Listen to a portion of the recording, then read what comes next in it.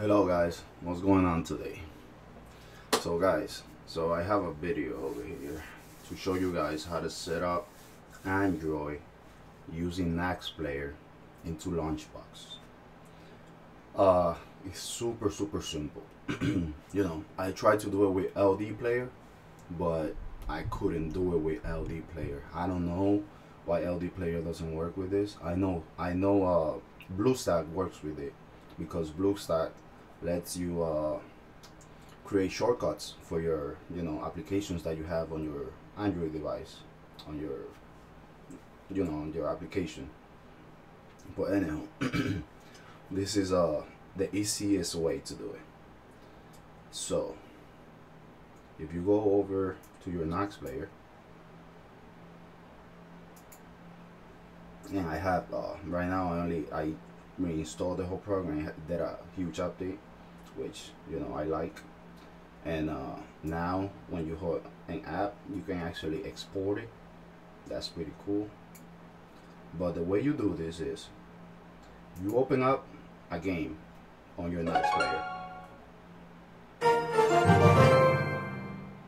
You have to you just have to launch the game. Once the game is launched all you have to do is click right here where the three dots are and you're gonna click create an app to desktop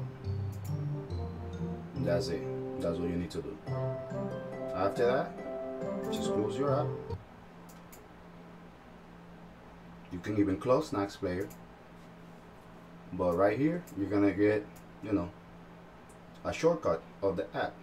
All you have to do is you can put this wherever you want. You just have to let you know a launchbox know where it is. But you can actually put it wherever you want. But I prefer to put it you know on my launchbox folder so if I go to you know where I have my launchbox I go to games I go to Android and there I have my two applications that I just installed Clash Royale and Gear Pop by the, the Gear War uh, Pop game. And you just drop it in there. That's it. You delete this. Super simple like I said. After that you come to your launch box. You can uh, actually you know throw the app in there throw the shortcut in there and then rename it or whatever that works super good too. But like I already have it. Let's say I go to Clash Royale. No I just browse for the application path right here Clash, uh, Clash Royale. I do that. You don't have to use an emulator for this. So that's blank. All you have to do is that and put the name so you can get you know your logos and stuff uh, that's that's about it. It's gonna ask you you know every time you press ok it's gonna ask you if you want to use an emulator you want to say no to that of course.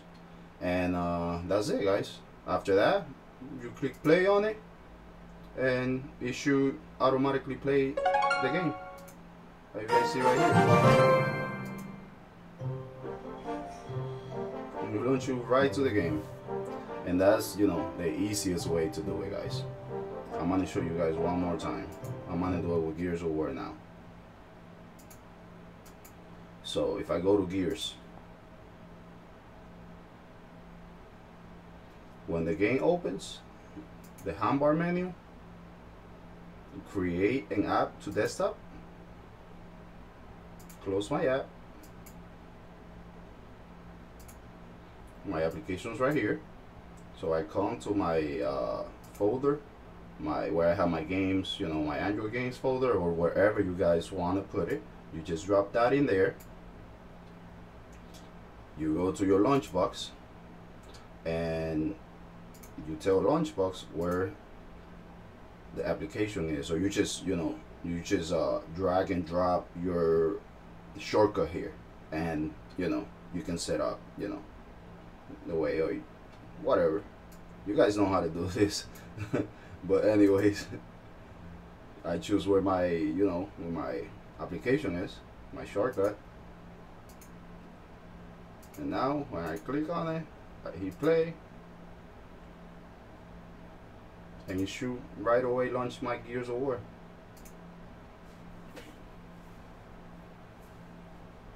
And that's the easiest way to do it guys uh, thank you for watching these videos and I hope this help a lot of people that want to include Android in their uh, uh, I'm telling you guys LaunchBox it's the greatest thing man. The greatest thing.